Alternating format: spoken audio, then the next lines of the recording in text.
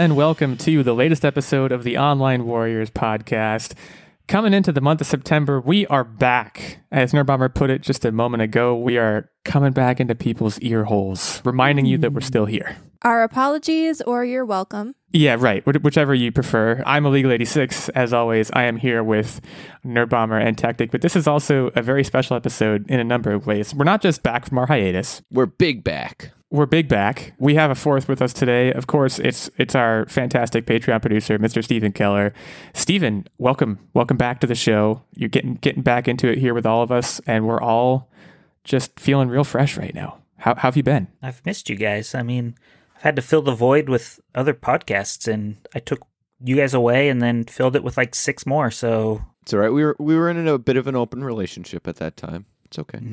Right, and, and and and to be clear, what you mean is other inferior podcasts. I'm sure. No need to n- to name names, but uh, Oh, yeah. that's uh, I'm sure I'm sure what the case was. totally not as good quality. It's a very special episode uh, as well. It's our 207th episode. Is it okay for me to? Do we know for sure that that's the number now, or is that still an estimate? I think it's an estimate. It's a close estimate. We've we've been approaching or apparently surpassing 200 episodes for a while now. I think we probably at one time or another wanted to make specific and special mention of it because it's obviously a milestone for us and for the listeners, but we don't know. So this, this is the 207th or the 206th or maybe the 200th. This might be it. We really don't know. But either way, we're over 200 and uh, it, it feels appropriate as a result of that to kind of take a beat and um, thank the people who have gotten us here. Steven, of course, being chief among them and being here with us, but all the listeners at large and all of our Patreon supporters and everyone who's continued believing in the show, and also the people who are back now after a month of us being gone, getting married and doing life stuff, and and right away are coming back and and listening. We appreciate y'all. And as a special gift slash reward, we are rolling out the red carpet today with a fantastic episode jam packed with topics. We're going to be talking about uh, an upcoming project kind of near and dear to my heart for a number of reasons, which is the Weird Al biopic. I don't know if we've talked about it before on the show, but we're going we're going to dive into that because it got a big trailer. I think it's coming uh, early November on, on the Roku channel, which is interesting. We'll, we'll get into all of that. Uh, we're going to be talking about Halo Infinite Forge mode, uh, which is coming out, but they just, what I'll say is, is unfortunately axed a certain feature. Also coming out in November, incidentally. And then we're going to be talking about Assassin's Creed Mirage, which was leaked earlier this week, or as Nerdbomber puts it, Ass Creed. Can we can we make that happen? Can we uh, like, Hashtag I, I don't want to like I see. I was gonna say I don't know if I want to make that hashtag because we don't want to. We don't want to send our listeners to what I can only presume is is a dark and unfortunate section of Twitter. But I guess that's for them to decide for for themselves. I do want to lead off with the Weird Al biopic. So if you haven't watched the trailer for this, uh, and the title of the movie is Weird: The Al Yankovic Story. And as I mentioned, streaming for free November 4th on the Roku channel. We got, I think, a couple sneak peeks. And, and, you know, when Daniel Radcliffe was attached to the project to play Al Yankovic, it made news. But this trailer, it's going on th- three minutes or so, and it's jam packed. Now, an important thing to note about this, you, you might watch this trailer and think this is this is ridiculous. I, I, I don't know. right. Like the first time I watched, you would you would be right, but like this is an interesting trailer because I can certainly see a lot of people who don't know a whole lot about Weird Al's career or any of that, like watching this and taking it very very seriously and thinking this is actually what happened.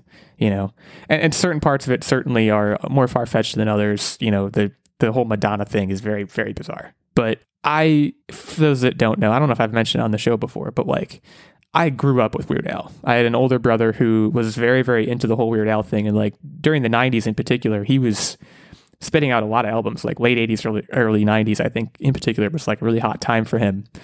All, all of them being, of course, you know, parodies and the polka style that he's known for. And so I'm very, very excited to watch this movie. And the other reason being Daniel Radcliffe, who I have definitely gushed about on the podcast before. I think he is like a total success story for escaping what seems like the Bermuda Triangle of child stardom.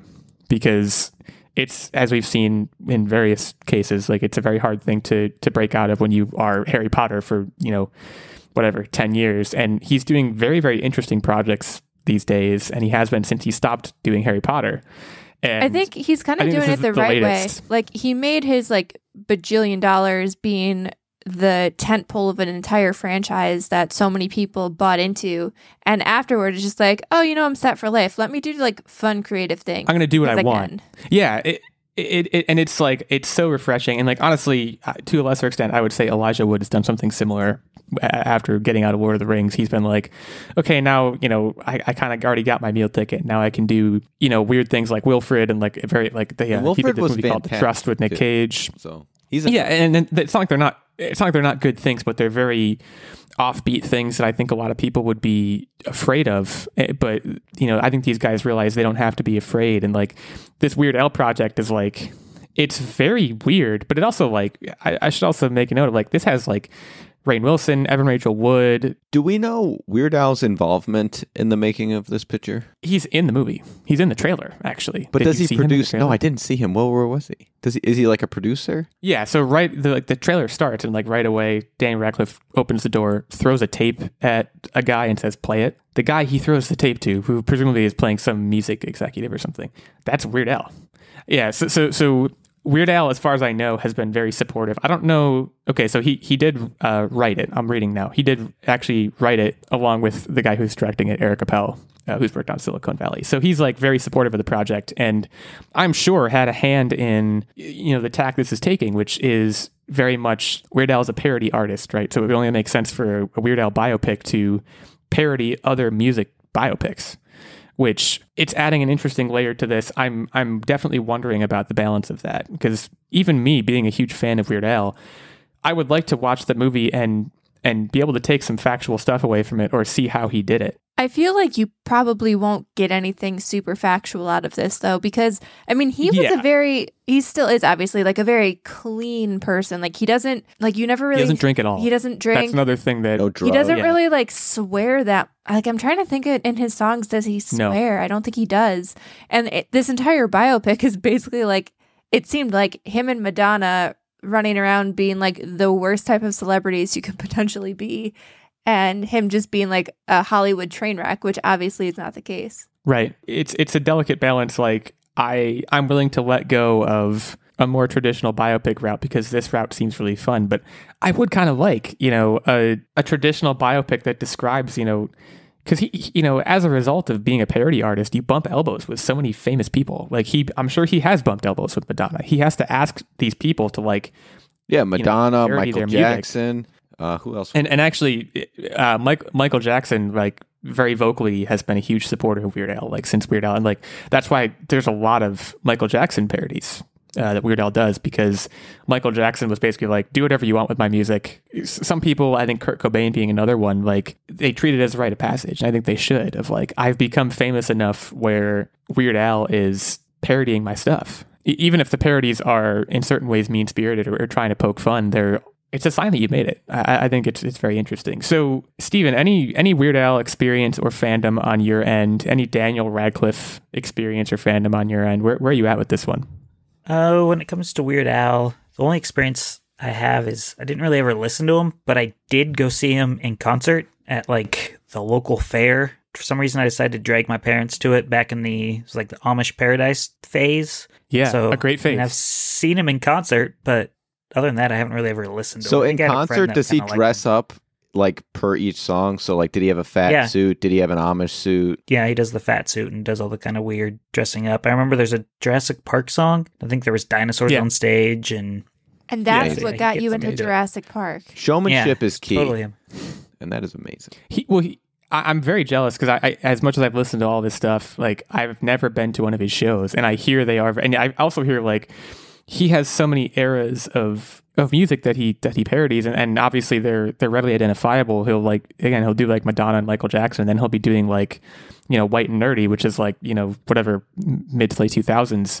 So when he's covering all of this stuff in one show, it's it's very impressive. You know, he's jumping around between all these styles, like you said. He's he's bringing a lot of showmanship to it with the costuming and everything, and they show a little bit a little bit of it in this trailer.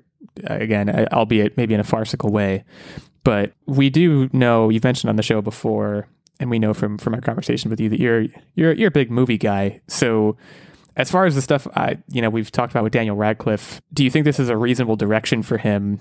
Do you do you like him? I, I, I, I don't know. That's a pretty broad question, but What are your, what are your feelings on on Dan the Man? Well, so at first, when I watched the trailer, I was like, "Oh, this is typical biopic. They're doing the drugs, they're doing the sex, they're doing his rise, they're doing his fall." But then I actually read the wiki and I saw that yeah, it's a parody of it, so it's intentional. It's supposed to be that way.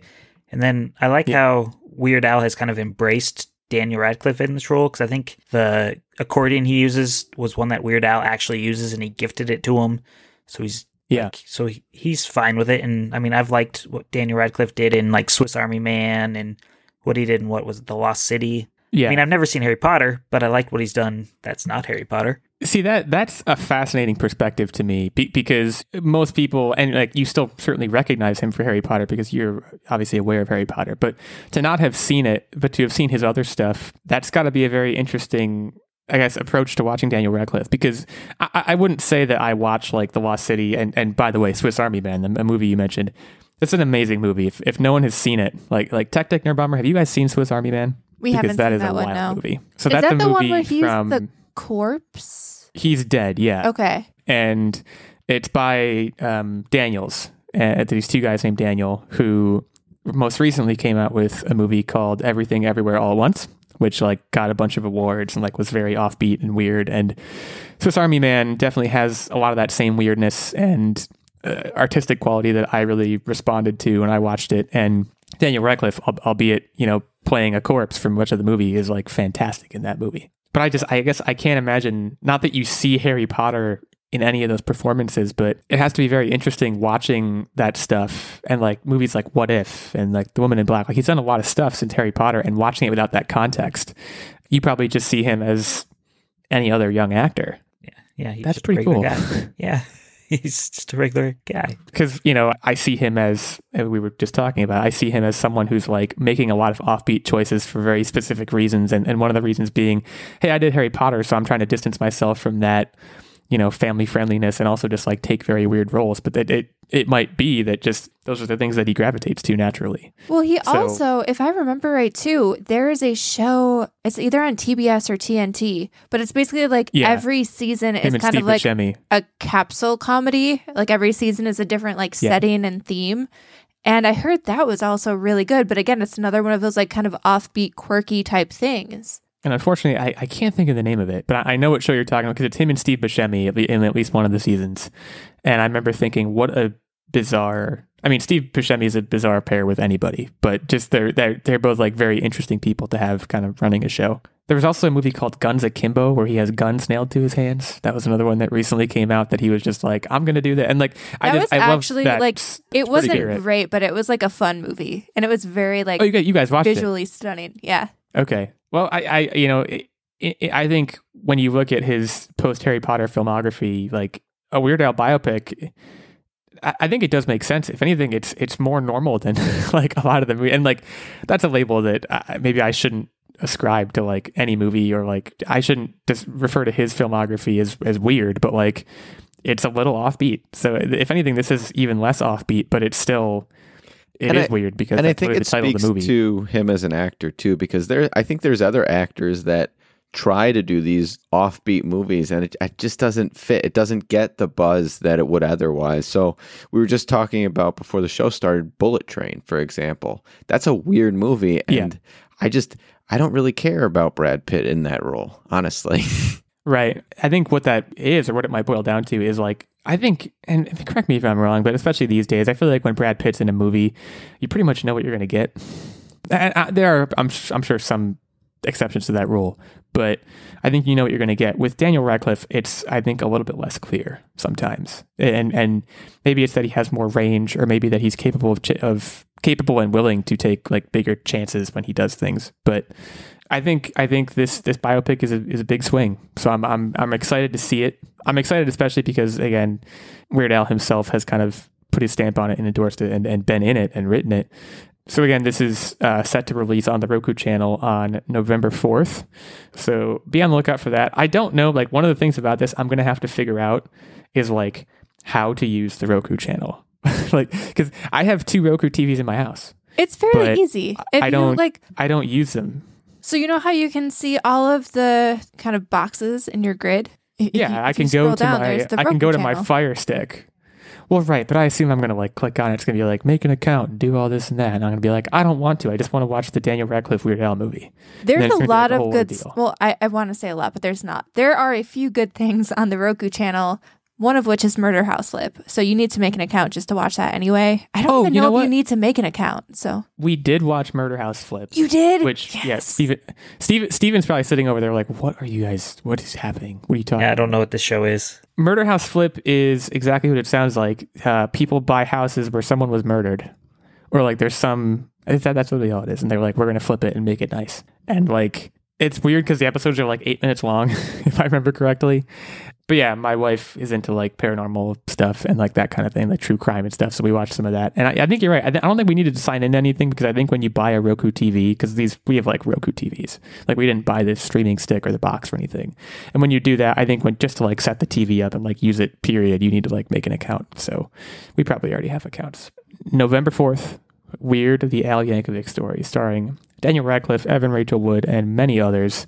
Be on the lookout for that.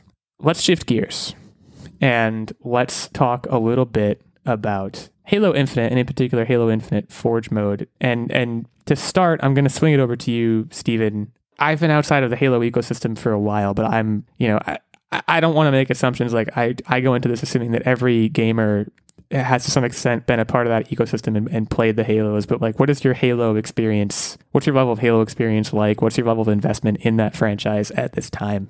So, just like Harry Potter and Pokemon and all that stuff we've talked about before in the show, I have no experience with Halo. I did play, I think, Halo 3 or 4 with a roommate. We beat it in one night, but that was it.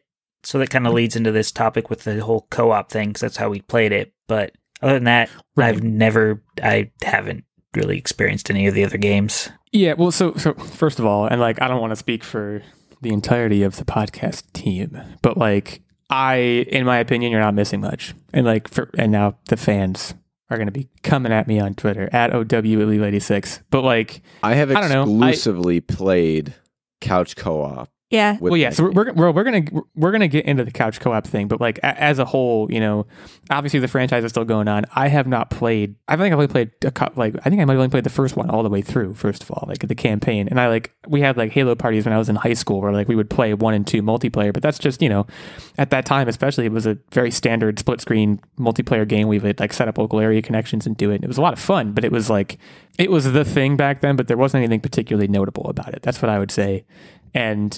I don't know, you know, as as online gaming became much more prevalent than that, they've made a lot of changes and a lot of games have come out since. You know, we had Halo 3 and 4, ODST, Reach, you know, and now now Infinite, and I think there, there's Master Chief Collection in there somewhere and all these all these games. And one of the things I think that came out in 3 was Forge mode, which is basically you make your own maps. It allows essentially multiplayer becomes a lot more customizable. And I guess Infinite Forge mode, which is launching on November 8th, is also including the release, full release of online campaign co-op. Now, the sad thing here, and like a, a constant refrain on this show generally, is we all love couch co-op. Like that's and that's I, I think we're pretty unified in that. And couch split screen co-op was originally going to be a part of this Forge mode, and it was it has since been ripped away. And I, I want to read. Well, it was not just part of Forge mode; it was like part of the game, Yeah. and it has been axed from the game completely. And I, I want to read what they said uh, about it because I I I think this statement is bullcrap. We just start by I don't want to color the statement before I read it, but it look it's bullcrap. Yeah, three four three Industries said, and I'm quoting now: in order to improve and accelerate ongoing live service development and to better address player feedback and quality of life updates, we have real- reallocated studio resources and are no longer working on local campaign split screen co-op. My first question with that is what resources do you need at this point? If it's if it's if what you're saying is true and it's already in the game, what the heck? That's my basic question. And and I don't know, maybe one of you can answer it for me. I don't know. It hasn't been released yet, so that was one of the things they released Halo Infinite with the promise that the couch co-op would be coming, and I think they've been working on it this whole time. So like, I'm sure the bones of it are in there, but I think maybe they can't optimize it well enough because I know when you get into part of the reason why couch co-op is going away at least is because it basically is running two instances of the game and then it requires more graphics and processing power to run. And that's why they don't like doing it anymore these days just because it's work to I mean, I think you get lower graphics. It doesn't look as good because you have to like reduce the resolution so that you can run the two instances, blah, blah, blah, blah. Basically, though, it's a lot of work, so they don't want to do it. Let, me try to counter argue that. I mean, I can't counter argue it because I think I imagine what you said is correct as far as why they did it. But I would also postulate that the the gamers who are concerned with and who want to play couch screen couch split screen co-op are the kind of players who the reason they like couch co-op split screen all that stuff is because they grew up with it or Right, have it some sort of formative do with the experience associated with it. It has nothing to do with the triangles. That's exactly the point i'm making. Like you could you could give me halo infinite co-op that has doom graphics and i would be like Here's it's the great thing, it's though. co-op. I'm, I'm going to be honest with you. Those people that grew up with couch co-op, I guarantee you, we are no longer the majority of the people buying those games, and so our needs are secondary, and Are they're, secondary. they're going to make the Yeah. same profits with or without us. We're we're getting old, folks. I well look, yes, we're getting old. Okay, there's no there's no denying that. But like I just I want I want us to all put our heads together here, all four of us, and find a way to make couch co-op, split screen co-op sexy again. Like Well, I mean, everyone is just so into online. I- I- right.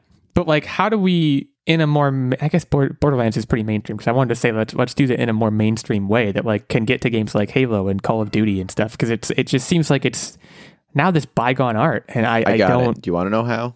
Every single very quick I I, I- I, I- no, I here's how immediately you make it distrust the solution because it took two seconds No, no, no. This is ahead. genius because no one's doing it at all. Think of one streamer that is two people, two concurrent people. Well, Na- they- name they- name one, There are some. but but name it. Name them. Well, I, that's not fair because I don't really watch streamers anyway. I can Yeah, barely, like, I, I- couldn't name, like, I know, like, Just saying. Ninja Ninja. I can name Ninja, and that's pretty much it. So y- you're you're asking the wrong people. I see where you're going with this. I Listeners, think, if you like, know, uh, if you could name five team streamers that are a big deal, I will send Online Warrior Sweat. Okay, hold on. Hold on. that is a bold. yeah, claim. you're I don't think definitely it's about going to send some you're swag going to to be doing that. I don't but think also, will. like, didn't Troy Baker and Nolan North wasn't their whole thing like they played like together on a couch? Maybe not necessarily couch co-op, but like they played games together on a couch. So like, I feel like if you're gonna be sending out swag, you need to have like stipulations. Is it do you do they need to be playing split screen? So that means you're really looking in the the retro game niche. I'm talking Right. playing It- couch co-op games is what I'm referring to. Okay, so split screen or something. Steven, it sounds like you're saying Techtic might be right. Yeah, I don't think Or there's going to be a lot of team popular streamers. I think there'll probably be a couple couple like couples That's a good point. I mean- but I don't think they're going to be big. They're not going to be that Right. But Mr. that's how you make it whatever. sexy again. Is Yeah. you start to get these big streamers do it as in a couple form. it's it well, it's tricky because like the, the Twitch vehicle is such that the fact that they're sitting on the couch next to each other isn't going to add anything to your viewer experience because if they were playing co-op in two different rooms you would still be able to see both of them and hear both of them so you're not gaining anything from a streaming perspective as a result of them you know being on the couch together there may be some format you can create you know that that that would make that uh, more valuable as a premise but I, i'm not sure what that would be You know what would really bring it back? Like LAN cafes. This is. This, I feel like I'm one of those cafes like have old been trying people. for a very long time to really take off, and they're just kind of like average successful. They're just they're just no one cares. Everyone's got their own setup at home, and they do that. yeah. Well, so look, yeah, and it's Steven, meanwhile, sitting here being like, "How old are these guys?" That's these like these are LAN cafes. What are we talking about? I actually don't. I I, I don't think I've been to a LAN cafe. Is that actually a I've thing? never been to Just one either. I know yeah, they're we, big we in we've been to- Japan. to, a couple. Yeah, there used to be one by us, and we actually used to hold extra life events back in the Dizay, but then they closed because nobody was going to LAN cafes. So, yeah. Well, so it, it it sounds like we're at that point in the show, as we often are. At Online Warriors One, our main show account, at OW Elite Lady Six, at OW Nerd Bomber, at OW Techtic. How do we make couch co-op split screen sexy again? How do, how do we bring that back? Because I, I think there's a lot of people like us who want it to come back, but it's just I don't know if it's because there's also just like there's more money in the online features of like people microtransact and like buy things to ha- be having their like there there's got to be some way to make couch co-op economically viable for for developers and also fun for us and you know make it marketable on, on places like twitch and stuff. But i don't my brain is not big enough to figure out what that is. Someone on twitter probably has a big enough brain. So hit us up at one of those handles. Let us know what your thoughts are. And also let us know how you feel about halo infinite ripping it away from us uh, because I mean, again, you know, I'm I'm sitting here acting like I'm outraged. I was never going to buy Halo Infinite, so like, I'm not personally that upset. But it's also like, I'm outraged. from a trend perspective, it's it's upsetting, definitely. For what it's worth, I believe November 8th is when Forge mode rolls out. So if you are a Halo fan and you are on the lookout for this, I just I just told you that's when you that's when you can expect it. So let us know. We're going to move now into our regularly scheduled break. Look, we did take a month off, but some things never changed. We're back at, we got the same format here. So we're going to take a break. But before we do, I get to do one of my in person shout outs of our fantastic Patreon producer, Mr. Steven Keller, who is here with us today. As a result of his continued support at the knight level on the show, uh, that is one of our three tiers of support. And as a result of supporting us at that highest knight level, Steven gets this occasional guest spot on the show, as well as this shout out on every show and input into the weekly game segment. He's got the inside track today, folks. He picked the topic. So he's probably going to thump me on the head, which, you know, before we took a break, uh, that was happening to me anyways. I think I'm currently in last in the quiz rankings. He also, of course, gets access to the monthly secret segment and vlog. There's also two lower lower tiers of support on Patreon. There's a Squire level, which gets you access to the monthly secret segment and vlog, and the page gets you access to the monthly secret segment. So details on any and all of those levels of support can be found over at patreon.com slash online warriors podcast. Thanks again to Steven. Thank you, Steven. I can just I can just say it to you welcome. right now. Th- thank you. I'm just taking my bow. And uh, yeah, patreon.com slash online warriors podcast. We'll take a short break now and we will come back to discuss Assassin's Creed.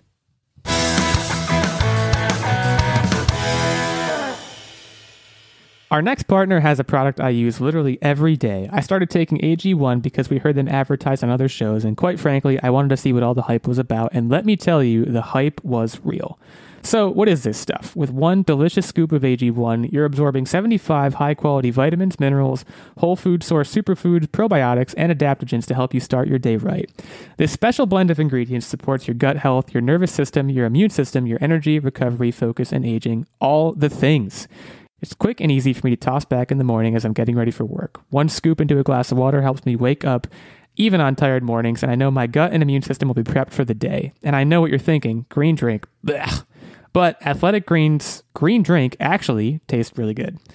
The best part is that I get all my supplements in for way cheaper than taking individual supplements themselves. It costs less than three bucks a day, so you're investing in your health for cheaper than a cup of coffee. It's also a trusted product. Athletic Greens has over 7,000 five star reviews and comes recommended by professional athletes and leading health experts alike. And for every purchase, you're helping to feed kids. Athletic Greens donates to organizations helping to get nutritious food to kids in need, including No Kid Hungry here in the U.S. Right now, it's time to reclaim your health and arm your immune system with convenient daily nutrition. It's just one scoop in a cup of water every day. That's it. No need for a million different pills and supplements to look out for your health. To make it easy, Athletic Greens is going to give you a free one year supply of immune supporting vitamin D and five free travel packs with your first purchase. All you have to do is visit athleticgreens.com slash emerging. Again, that is athleticgreens.com slash emerging to take ownership over your health and pick up the ultimate daily nutritional insurance. Late at night, on September 27th, 1977, three terrible things happened in the small town of Garrison. An infant was stolen from its crib, never to be seen again. A forest fire sparked just a mile down the road, and the first in a series of grisly murders rocked the town. All had one thing in common. They were perpetrated by what those in the town called the Shadow Man. I'm going to bring you along on my investigation into just who the Shadow Man is. Welcome to Strange Trails. I'm your host, Finn Mitchell.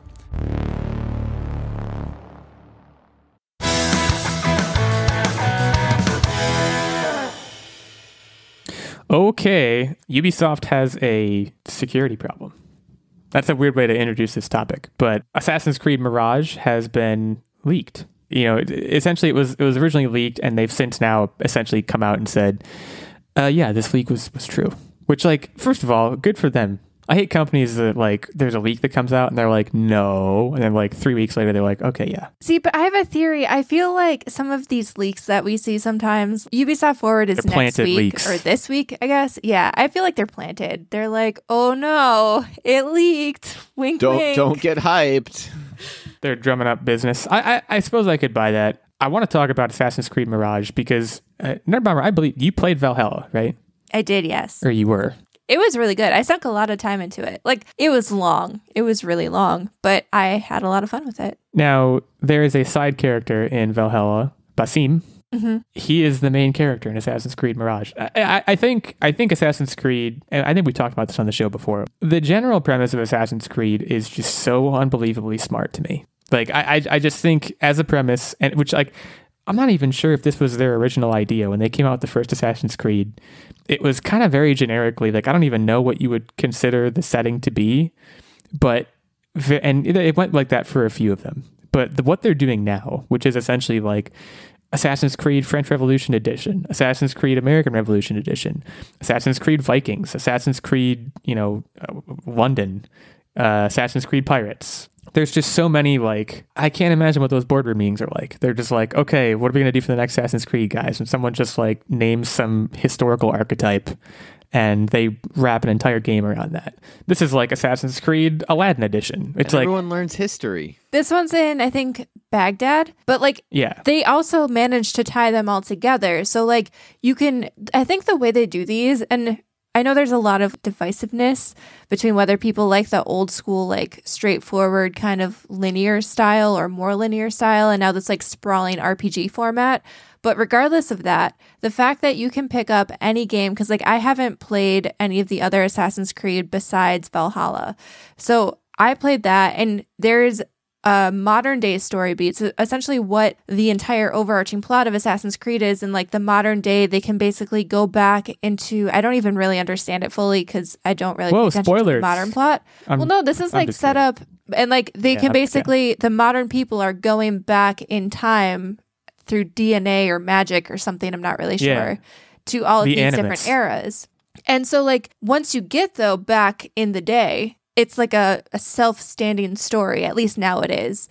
And so, like, I could pick up Assassin's Creed Valhalla and be a Viking, and that was dope. And I didn't really need to know anything else about Assassin's Creed. And like, during the modern story beats, I was just like, I have no idea what's going on. I'm just going to solve this puzzle and go back to being a Viking. I'm waiting cool. for someone to get out of the machine and they and then they go, "Okay, now you're ready. Here's your assassin mission." And then it's like an event that happened like within our lifetime. That would be the bee's knees. And that's how they just end it finally. it's very interesting. Again, I just I think the premise has so much juice. I will say, Nerd Bomber, to speak to your earlier point, and, and Steven, I'm going to swing it over to you in a second to ask my classic, "What's your Assassin's Creed experience?" question. So prepare your answer. But my experience has been, I played the first one, which is like painfully linear, probably to most people who who play the franchise now. I loved it, and I bought Assassin's Creed 2 for I'm sure the Xbox 360, and I started playing it and was like immediately overwhelmed because it was like they they just added a lot more onto it, and I just wanted to go around you know killing folks. Uh, and like looking cool doing it because that's also like I feel like one of the main pillars of Assassin's Creed is like not only are you killing people but you're looking so cool doing it that you're just gonna feel like the coolest person in the world. And the second one was like, all right, you're going to do that, but also in the meantime, you're going to like do a billion side quests. And I just looked at it from a completion standpoint, which was the wrong thing to do. And, and I never got through it. Now, if, again, if I went back, I, I, I might have a totally different experience with it. But like, this is one of those franchises where I watched the trailers for the games. And I, I remember in particular during like the Ezio Auditore, like that phase of the franchise, I was like, these just look like the coolest games in the world and it looks so like and you know the trailers are all cinematic but they just it was so cool Well, you should be excited if you liked the very linear aspect of it because one of the parts Right. of this leak was that this game is actually going to be like, instead of the sprawling RPG, more of almost like a side game that goes back to that more linear, just focused on stealth was what I and like, story driven gameplay. right so Steven can we throw Assassin's Creed in the Pokemon, Halo. I don't remember what else you said before, a bucket, or is this one that you've actually you know gotten your feet wet with, you know, beyond a, a single player too? This is a franchise that I really liked at one point. I played the first one up through Black Flag. I bought. Oh, Uni- Oh, okay. So you got Yeah, I bought really Unity and. Syndicate. Never played them. Still own them. I played Origins. I bought Odyssey, but haven't played it. And then I so Valhalla is the only one I haven't bought yet, and I like it.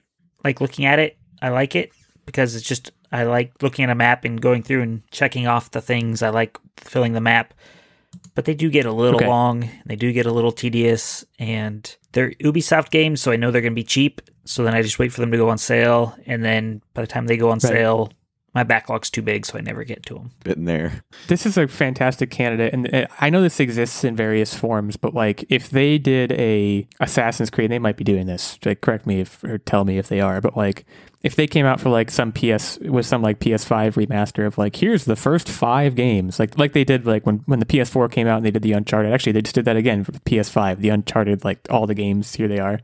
If they did that for Assassin's Creed, I would pay a tight seventy bucks for it, just because I I want very badly to be in this franchise, and there's so much to be played. And I, I- do think now, if I went back to like those big maps with all the icons on it, like I could probably handle it. This was like relatively early, like I hadn't done a whole lot of RPGing yet, and, and so I might have just not been ready for it. But See, but when it started to move to more RPG and more open map, it sort of the missions and that sort of forced you to do everything so that you can be at a comparable level to handle the story. So it's still, Sure. in my opinion, i- in the later installments, is a bit overwhelming. Yeah, I will say one of the things with Valhalla and why I did spend so much time in it, because normally with open world games, I hit a certain point. Like I start out saying, oh, I'm going to do everything, I'm going to check every side quest off the list. And then I probably get like 75% of the way through, and I'm like, okay, no, I'm just going to mainline the story now. And I right because you're yeah, I just you're- get done. But like with Right. Valhalla, I believe I was kind of gate kept. Like Techtic said, like there was a level and like certain things I needed to do to move forward with the story. And so I think I ended up doing a lot more than I initially intended. But like I had fun with it. But I think if I would have had my druthers, I don't know if I would have spent like 120 hours in the game, probably more like 80. But I think the one So- thing that this game needs to have is you should be able to be at a comparable level with just doing the story quest alone to be able to complete the story. I never finished Odyssey because I was just exhausted with all of the side stuff to level up. Well, I think this that's why they said like this is going to be a tighter or at least in the leak, a tighter, more condensed kind of going back to the linear roots instead of like that RPG progression, which I think might satisfy right. a lot of people's kind of craving for that early series gameplay. it's a delicate balance, right? Because and this is true of probably any RPG, but but like like you said, Techtic, you want to be able to just if you just play through the story, you get to a comparable level, but then you might not be incentivizing players enough to to do all these side quests that the developers have put so many hours into. There's certainly people who are going to come into it and say, I want to do every side quest because I'm a you know psycho completionist like like like myself but there's probably other people who they're not sure how they want to play it and and they want to find a way to incentivize people to play those those side quests i mean the operative question here you know and Steven, I'll ask you because it sounds like you have a lot of experience with various areas of the franchise. I mean, are you on board with a smaller scale sort of uh, linear experience like it sounds like this one's going to be? Are you on board with the shift back towards that, or do you do you think they need to just continue doing the RPG heavy stuff that they've been doing? My backlog would prefer that they keep them short and sweet. I've been playing a game right now where I'm like 25 hours in, halfway through it, and I'm like, I don't want to keep playing this. I get stale pretty quickly with games, so if they can make it short and sweet, I'd be in. But knowing, yeah, Valhalla is so big and Odyssey are so big that I just don't want to jump into them just because I know there's new games coming out that I would rather play, play than jump into those. So this is kind of Right. like more holistically. Do you find yourself avoiding like those super big open world games? Because I feel like I've been doing that lately, just because Yeah. I want to play like more condensed, short experiences, so I can like experience more. Yeah, like I've had Forbidden West on my backlog for since launch, and I just know it's gonna be a long, big map, check everything off type game, and so I've just been putting it off. I'm like, God of War's coming out soon. That's gonna be short and sweet, probably. So Mhm. I'll just play it after that. So And like It's tough with all the like the Game Pass and stuff like that because all of the shorter indie games hit that, and I'm like, I think to myself, I'm like, I can play five nice little indie games, or I can just spend my entire season playing this one like 200 hour game, Right. and I'd rather just play well, five. and, and that's and that's what I, you know, to to dip a little bit into my my what are you up to, but also just as, a general note with like how I'm gaming these days, like it not to paint with a broad brush, but like that's one of the things that I just continue to feel like it makes it makes the Switch eShop and like the Switch playing the Switch in general. This is so great to me right now. Is everything about the Switch is so much lighter weight to me. Like there's no game. I, I guess some of their AAA titles probably are, but like any of the stuff that I'm buying on the Switch eShop, it's just there's so much more self-contained. A lot of them are indies, but even the ones that aren't, they're just very self-contained experiences that are they feel so much more manageable than the stuff that I have going on the PS5, which is, you know, I've scraped Deathloop a little bit, but like I immediately started it and just the time I did, which granted was like right around my wedding, which was really stupid of me to do, but like I was immediately overwhelmed by the scale. And it seemed oh, great. oh, but Deathloop like, is short.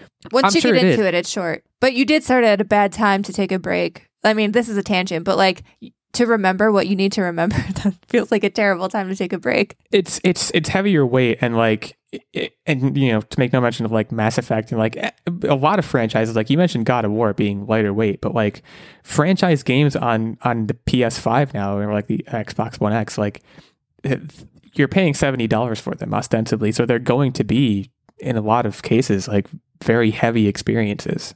So it's it's definitely interesting to think about like you said like always keeping your backlog in mind and like if you're a completionist gamer like like I think Nerd Bomber is and like I know I am like going around like you said just kind of checking boxes and like that was like you mentioned Forbidden West. I started Horizon Zero Dawn and like r- really liked it but I lost steam because it was just it's so expansive.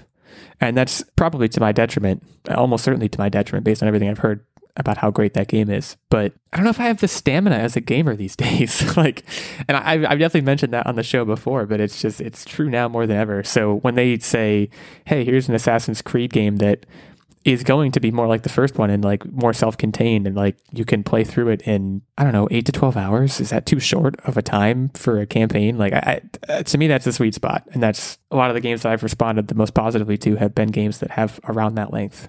So we want to know from you guys on the Twitter sphere. New Assassin's Creed, Assassin's Creed Mirage. Do you like the direction they're taking? How do you feel about you know the Assassin's Creed duality of shorter self-contained experiences versus the more RPG heavy experiences that we've gotten more lately? Let us know and be on the lookout for more details about Assassin's Creed Mirage. It sounds like they're going to reveal more about not just that game, but the future of Assassin's Creed on September 10th when Ubisoft is hosting a multi game showcase. So, for all we know, we'll be talking about that next week. I, I- I guess we'll see what they say. That takes us into what are you up to? And this this is we're in a unique situation here in that we've been gone for a while. So uh, I'm gonna, as I collect my thoughts, I'm gonna step aside and and and give Steven the floor as as he's been away for even longer than we have. Steven, what have you been up to lately in the in the gaming, movies, whatever world you wanna you wanna walk us through? Yeah, so this year, this fall coming up is the World Cup in Qatar. And growing up, I played a lot of soccer. Pretty much that was the only sport I ever played. And so I've always kind of liked it. But recently I've kind of gone, jumped in, full blow, we're doing everything. So I've been playing a lot of FIFA 22 and Mario Strikers Battle League. How do you like Mario Strikers? It's a weird game. It's a game that a lot like my soccer kind of playing career is I'm horrible at it, but I can't stop playing it. It's there's not a lot of depth to it. It's pretty much just online play or you do the league mode and the league mode is I don't really like it because it's based off you can add one character to the team and then so people in your league are adding the other characters. So it's all based on characters that other people are leveling up or putting the gear on. So it's like if a person adds a player that has bad gear you are going to be stuck playing with this character that has bad gear. And so luckily i'm in a league where people are pretty active and slightly good so we worked all our way up to the top league. But like it's just trying to find a team that you like is kind of annoying. And so hmm there's just not much to it. It's just you get coins by the. How do you Yeah. find your team? Just out of curiosity. I just put a call out on Discord or in Twitter and just joined a Discord group that it's another podcast. It's a Nintendo Dad's podcast, and they just had a, a group that had a s- spot open, so I joined it. And Shout out to Nintendo dads. yeah, I think it was the Dads After Dark is like the group, and I mean I'm not a dad, but they let me in, so some of the guys there You're are a pretty dog good. dad. That counts. Yeah, I guess that does count. But yeah, so they're going to add more characters, but they're not really doing much in between. I mean, it's kind of like what they did with golf and tennis. It's just, it comes out half baked and it's just kind of there. There's not much to it. I want to speak to FIFA for a second, which was the other game you mentioned. And I, I haven't played FIFA in a long, long time. But like I had when I had a 360 in college, I had FIFA 07 and I almost wore that disc out. Yeah. Like the FIFA games, man, they are just and all, like also the, the overarching concept here, which is like the World Cup, is so watchable and like and and you know FIFA is just it's so playable. It's just the barrier to entry is relatively low and it's just it's so much fun. So I I don't know how if at all that franchise has evolved since then, since like 15 years ago, but I I certainly know just from a general gamer perspective that it's more highly regarded than you know franchises like Madden, which is just like seems like a constant dumpster fire, and that's another conversation. But I'm uh I'm jealous is basically what I'm saying. I haven't played FIFA in a long time, but Not to cut Yeah. in and kind of tangentially, but since you said you like were going all in on soccer, have you watched Welcome to Wrexham at all? I've watched all four episodes so far, and that was another one thing I was going to bring up was that show, and I'm really liking it. It's kind of fun just to see them buy this bottom feeder of a team and just kind of watch them have to be owners and fire coaches, hire CEOs, get pick up players, cut players, and just kind of watch kind of the intricacies of that has kind of been kind of interesting. for the listeners, this and for for my own clarification, this is the team that Ryan Reynolds and Rob McElhenney own, right? Yeah, correct. Yeah, which interesting in in its own right. But yeah, I, I can't imagine the mac the machinations of of like you said, doing all that stuff and Was that a pun? also being uh no, but yeah, like to, to also being Ryan Reynolds and Rob McElhenney in that situation has to be interesting. Yeah. I don't. I also wonder about the the the ventilations too. That was bad. that was not your best work. It wasn't an intended pun, but I, I guess I guess now I have to say that it was. Sorry, Steven, we're we're trampling all over you. Oh, you're Can- good. Please, please continue. The floor is yours. Yeah, the other things I guess I've done is uh, I watched The Damned United and Bend It Like Beckham. They're two soccer movies I've never seen before, so those were pretty good. So yeah, I've just been. And when I said I replaced you guys with six podcasts, they're all soccer podcasts. It's like I'm doing fantasy Premier League. Yeah, I'm just all into the soccer right now. So All in on soccer. Do you happen to know when the World Cup starts? sometime Because in I'm- November, because the England US game is Black Friday, and I think that's the last game of the group stage for us. Gotcha. Middle November time frame. Right on. Yeah, I've heard Bend It Like Beckham is really good. I've never seen it myself, but it is good. shout out to soccer. I'm gonna go next. I'm gonna bounce around a lot because you know a, a couple things happened. Got married.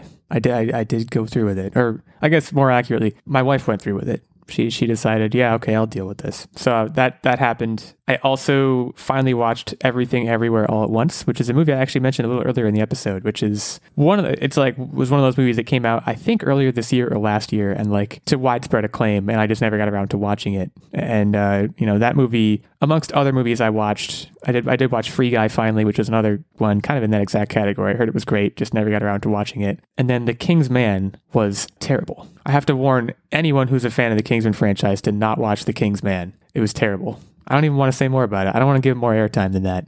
It just sucked and it was disappointing. So yeah, I've been watching a lot of movies. I did mention starting Deathloop. I'm not very far into it, but I, I did start that. And finally, I also just want to actually shout out another podcast that I just started listening to called Smartless, which is a podcast with Jason Bateman, Will Arnett, and Sean Hayes, where they have on guests. I've been very into, in general, like, for lack of a better way to describe it, behind the scenes podcasts, essentially, where like actors are interviewed and like they talk about like how they started, you know, doing what they do and, and what the road to the point that they're at was like. I find it very fascinating to, I don't know what exactly spurred that sort of like, I got very into listening to like actor interviews or whatever, but I've been doing a lot of that lately as well. Yeah, that's, that's, that's about it on my end at, at the risk of you know like getting way down involved in, in like literally a month worth of life i will leave it at that and swing it over to nerd bomber nerd bomber what do you got for us So, aside from, you know, also getting married, I watched a lot of TV. And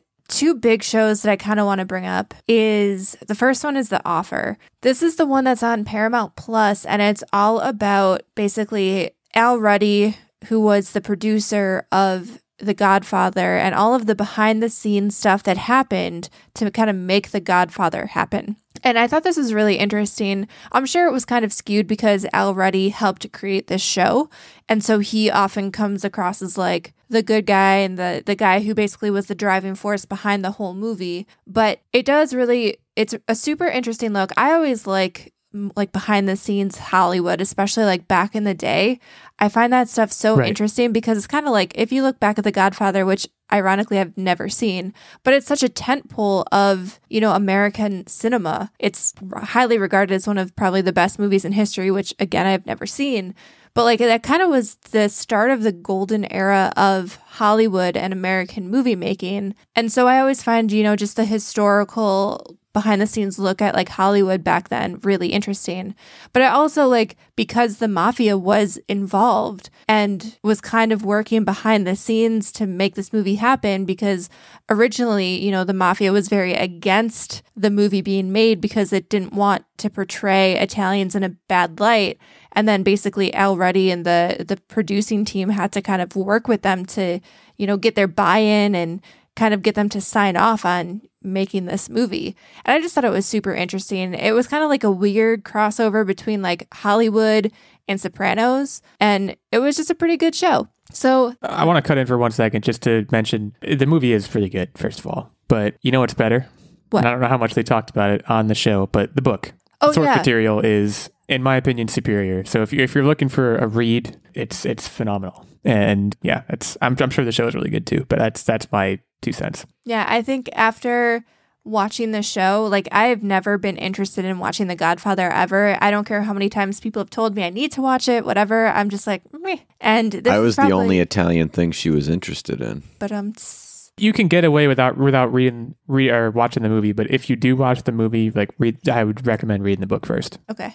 Just one man's opinion. But yeah, this kind of got me interested, so I probably will do that at some point. Another show though that I did watch was Euphoria, and this is another show that I've heard a lot of like really amazing things about. This is the My wife goes crazy for Euphoria. The, yeah, this And is the show on yeah. HBO with Zendaya as the lead. And my initial reaction, because I first started watching this when Techtic had COVID and I was basically living in our basement. And so I was like, what could I watch that he might not be interested in? And he usually hates like high school Which stuff. she doesn't remember. I actually recommended this as a show to watch. Yeah, I don't remember that, but I was just like, oh, he hates stuff about high school. So I But, went. it's, but isn't it? I mean, it's like high schoolers in like very adult situations. Yes, it is. What I It's high school porn, basically. when yeah. I watched yeah, it. Yeah. it's like it- it's I, I I don't know much about it, but I've like it's been one of those things where like I've walked through the Let me be clear. That's not why I it, and I'm like, recommended it. I recommended it because it was so critically acclaimed. I'm not. yeah, yeah, it's it, it's very highly regarded. I just I, I when I've walked through the room and I've been like, what on earth is happening? But anyways, go. These high schoolers, like, they really go through it. the first couple of episodes, I was like, I don't know if I'm into this because, like, this is not my high school experience. This is not what I went through. But then, like, you just get sucked in because, like you said, they are very adult situations. So then, you know, the fact that they're in high school, all of the characters kind of falls by the wayside and you just kind of get sucked into the drama of everything. And I will say, like, Zendaya is incredible. I think when you compare her Disney Channel work against Spider Man, against man, she was in Dune, and then Greatest Showman. and then is The Greatest really Showman, artistic performance. and then Euphoria. Like her range of acting ability is incredible, and basically her main character Rue is the the central narrator of this show, and you kind of see everything like through her lens. She narrates everything, but then it's also obviously focused on her for a lot of it because kind of like an ensemble show, but she's one of the main focuses, and her ability to portray drug use and addiction and the struggles of all that like her acting was phenomenal. So, I mean, it's it's one of those shows where there's a lot of trigger warnings and stuff like that where if there's a lot of stuff that makes you uncomfortable, like sex, physical violence, drug use, all that kind of stuff, like probably don't want to watch this show, but it is very artistically well done and just sucks you in. It's kind of crazy. It's very dark, but it sucks you in. Yeah, heard nothing but good things about it, but I've never never really watched it myself. Yeah, outside of that, Cool, that's cool. also just read a lot of books. I think I cranked out like 10 books in the past like month. So, read a lot of books. I can't even like begin to pare down what I've read, but I've read a lot of books. Thank you to my local library. Also, shout out to you, like very sidelong mentioning that Techtic had COVID at one point. I want to make it clear that it was it was me that gave it to him, and in particular, it was, this is my wedding. I just want to I want to come come clean. Well, because So- of you, I watched Euphoria. So, Yeah. Hey, you're you're welcome, Techtic. Why don't you uh why don't you take us through just you know give us an update? So I want, I'm going to keep mine short and sweet and talk about one thing that's been rattling my brain, and that is a home renovation project. We have a, a laundry room situation, and it was sort of this this haphazard mess of clothing that was sort of hanging on rope, and and I really wanted to sort of condense the clothing and put up shelves with a bar across to organize it all in one spot and clean it up. So we had these shelves that were held up by these vertical boards, and these vertical boards basically sealed the walls instead of like sheetrock or anything like that. So when I was taking down, So you're taking down drywall at this point. Well, I was taking down the boards, which which basically covered the space between the studs. So Sure. because it's an unfinished laundry room. When I took down the shelf and then I took down the vertical boards, all of a sudden something fell out at me. I look down on the ground. What what just fell out at me? It's a gun, a very real looking gun. But with further inspection, it turned out to be a very real looking gun that was actually a, a one of those CO2 powered BB guns. But it didn't have it like it didn't have the orange tip. It was this was made in the late 90s before all the don't make it look like a real gun stuff came out. So you you carbon dated this thing. You did some research. Yes. And I even I even sort of handled it to make sure that it wasn't a real gun because it was like it was it was locked and loaded after it fell out fell out of the wall. So then I was like, Now, oh, first okay. of all, if I'm in that situation and a and a gun falls out of the wall, the first thing bef- that I have to do before inspecting the gun is go change my pants because I pooped my pants. So good on you for not doing that. thank you. So I mean, then I would lose my mind. after I sort of calmed down, I looked at the wall where it fell from, and there were knives stabbed into the wood in the wall. A lot of knives, one of which had a brownish substance smeared across it. At this point, I am convinced this is like all stuff that was used for a murder and then sealed in the wall. So, you know what I did then? I called the police and I said, guys, you got to take this, but just know I handled the crap out of that gun. Well, so I think, yeah, this is a wild story, but my perspective on the story was I'm, you know, minding my life watching television, and I get a message from, I think it was actually Nerd Bomber at first, but it was basically like, so something just happened here, and they sent me the pictures, and I was, it's, you can concur, it's a Y- y- real looking gun. this the story is one thing, but seeing the pictures kind of adds a level to it of just like the the knives were like stuck in the wall in like a very specific looking way. It was It's all like very they were bizarre. stabbed. So there's a it was there was the vertical beams for the wall, and then there was a horizontal two by four that they screwed in there, and then they were stabbed into that two by four, but like at angles that looked like a Like weird fanned like- out. Yeah. and then it was- sealed in the wall. Yeah. Who did you buy this house from? Well, right. Who did you buy the So house well, from? well, the mystery continues. So we know of two of the previous owners of the house, but after talking to the, some of the neighbors, and I, I still have to go back and look at the title. After talking to some of the neighbors, they had told me, well, no, there was this third guy. You know, the guy killed himself. That's the murder guy. That's so. Yeah, Which I, so- my brain is now going. Oh my goodness! There's the guilt. There's the the the the the murder weapons. This is a thing. So now this is like racking my brain, and I just haven't had the motivation to research it yet or the time. And man, this is going to be an adventure for the next probably I don't know three days. Keep keep us updated. I'll, I'll check back in next Option week. B. Some kid collected like tactical knives and a BB gun and hid them from his parents because he didn't want to get in trouble. That's option B. Yeah, keep us updated because and I like also I I'm just curious. Like I applaud the decision to call the authorities, and and in fact, I believe when you sent the photos, I was like, "Did you call the authorities?" We didn't I initially, cannot but imagine- then like three people were like, "You should probably call Yeah. the cops." They're like, "We and should I- and, and, I, and I was one of them. But but I I was curious. Like I was curious what their reaction would be. Of like, hey, we found stuff. Like They very Yeah, it was nonchalantly. just, all right. We'll have some. We'll have someone to come pick them up. Yeah, it was very nonchalant. He put them in a paper bag and was like, "Oh yeah, we'll probably dispose of these." Which is like, okay. that's man, that's that's nuts. Yeah, I don't know. I, I don't even know what to say. But uh, good good on them, I guess. I That's want one of the many wild stories of August. Yeah, I was joking with some people that we should change the podcast and call it "Only Murders in the Basement" and become a true crime podcast. Right. When we're not podcasting, this is the kind of trouble that we get ourselves into. Like we're like finding potential murder weapons in places. So But I tell it's good I, that we're back. I told Techtic like we're not allowed to open any more walls. We're just gonna just be naive to the rest of the mysteries. Yeah, I don't. one. I don't want to know if there's bones in my walls. I don't need to know. No, they'd be in the backyard. That's uh that seems like it's for the best. But in any in any case, keep us keep us updated. Great. Well, Techtic, I think you have a quiz to host, but uh, before you get into the, the nitty gritty of it, I, I know we're following a bit of a different format today. I want to go through this the, the, the records of all the people, even though it's going to hurt me to do so because I'm I'm pretty behind at this point. I think Techtic, you are ten and eight. You are in you are in front right now. You're in the pole position. Nerdbomber nine and eight. I am eight and twelve, and of course Steven one and one. So Steven, this is a big this is a big game for you. Yeah, I'm gonna, You, you're either going to have a winning record or a losing yeah, I'm record. gonna be down there So- with you soon. All right, there's no need to rub it in, but we'll we'll we'll see we'll see what happens. Techtic, what do you have for us today? All right, so this game format is going to be completely different than what we usually do, and the reason why is because the quiz topic is She-Hulk again. That's right, I said again. My bad. So because we're it's a duplicate topic, we're going to do a completely different format and we're going to do Jeopardy style. So if you know the answer, give me a loud buzz. That's my my gonna- showmanship.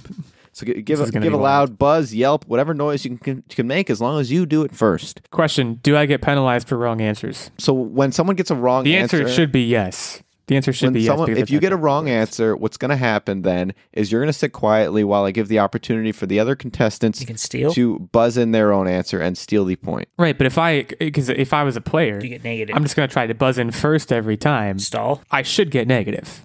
Is what No, I'm saying. that's not I'm what I'm gonna you, be you need You can buzz in and Okay. guess, and if you get it wrong, you've lost. But there's like a like you can't stall. You have to guess an answer right away, or else eh, time's up. Next person. So you better have an answer on the ready, because then I'm the other players regret, can now think about policy. it.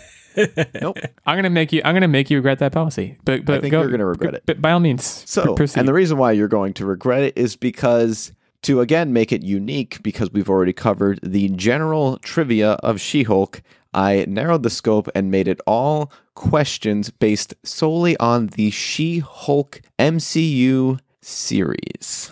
So glad I have Which I've watched watched. this. Specifically, oh, so Yeah, I've watched- basically, I- I, get to win. I've watched well, none of it. no, because specifically surrounding Easter eggs within the show, which I will bet you you didn't catch any of. yeah, probably not. like seeing these Easter eggs on the show and like looking over to see if Nerdbomber notices, and sh- she doesn't. And he just like writes it down for this quiz. Okay, Well, some some of them she Look, will get, some of them she won't get. this feels biased, but okay.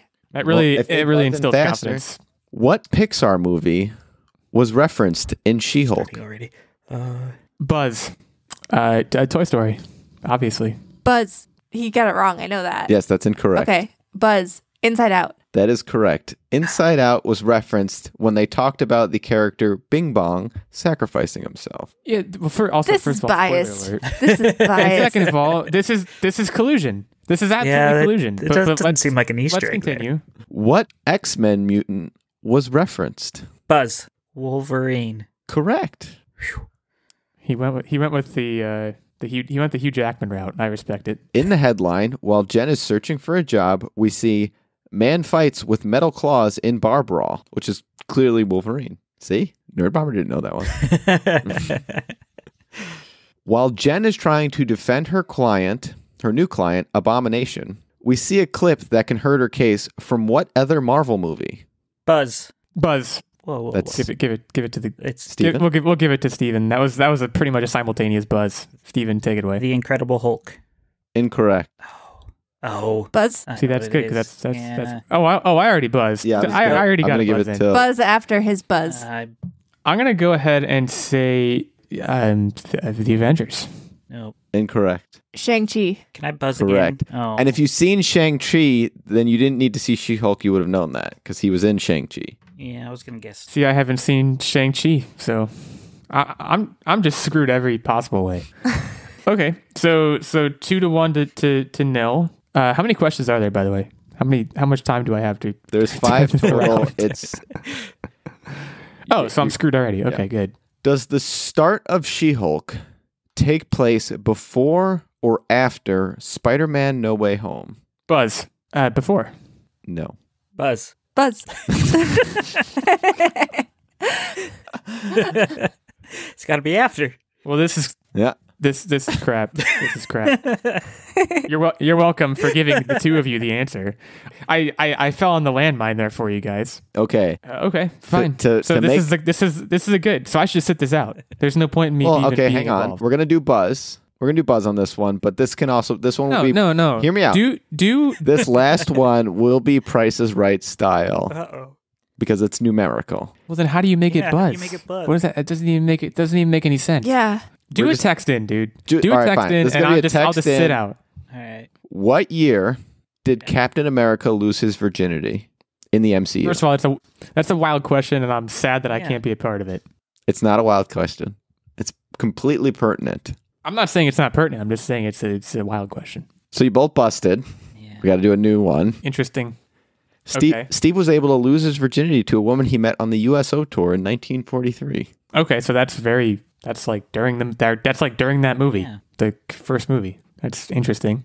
Steven, for what it's worth, I thought that was a phenomenal guess. I did not see Nerdbomber's guess. I, I do see yours. I said 1974 and Steven said 2015. I figured it would. 1974 feels like feels like it has no justification at all. I figured It didn't. Post thaw. So She-Hulk is played by Tatiana Maslany. Maslany. Money. Yeah. How old is she? If Steven doesn't win, this is this is collusion, by the way. just, just, just FYI. Steven wins. Yes. She is Okay. She is 36. He guessed 30 and Nerdbomber guessed 28. Oh, she went for the young tactic. That's what I was trying to go for. I did. Yeah.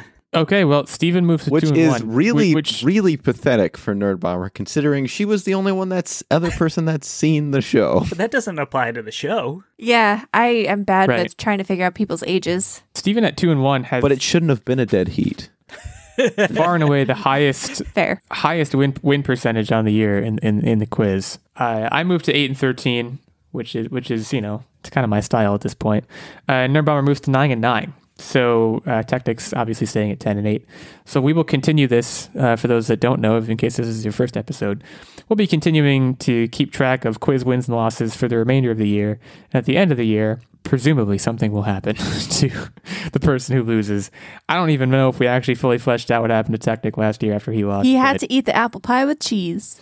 It was weird. and he kind of enjoyed it, Yeah. I Oh, believe. that's kinda yeah, weird. Eh, that's y- y- it you just know tasted liked it. like a whole lot of nothing. Well, hopefully that's as bad as as my punishment is because right now I am in line for for punishment. But we'll see. So that concludes the 207th episode of the Online Warriors podcast. We thank you for joining us. We thank you for sticking with us through our hiatus in August. We are back now. We will be back on a weekly basis uh, from here on out. I'd like to say for, for at least for a while. Thank you to Steven for being here. Steven, always a pleasure to have you on the show. Anything else you want to shout out before we uh, close things down here? I'm just glad you guys are back. I've missed you. It's been a long month. Don't go away ever again. It's good. It's okay. Wow. We'll give it another five uh, it's- years. yeah, never. Can't leave. it's it's it's very good to be back and it's, it's good to be here with you. And uh, yeah if, if you like what you listen to you can head to apple Podcasts, leave us a review hit us up on patreon and the details i mentioned earlier in the show or hit us up on twitter at any of the handles i mentioned and, and you know get out there and, and tell your friends tell your folks. Online warriors podcast we're back in business baby. With that i will take things over to Techtic to close us out with a tech tip. Stop looking in walls. Yeah, just don't do that. that's a good tip. It's a good tip. We'll see you all next week